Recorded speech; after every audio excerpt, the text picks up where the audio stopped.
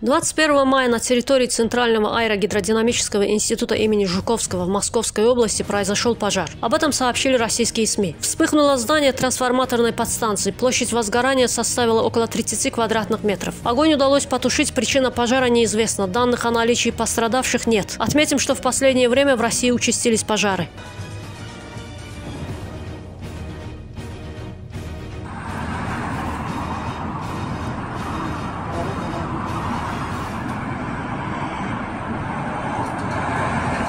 Là nhân vật.